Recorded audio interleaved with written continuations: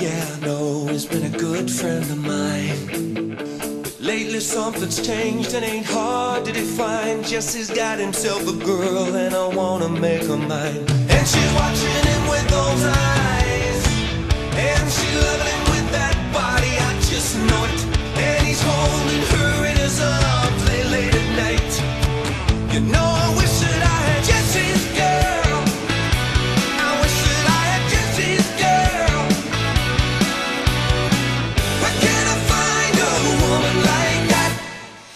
play along with the charade.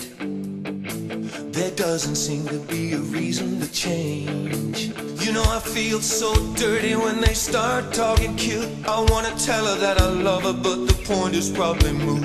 Cause she's watching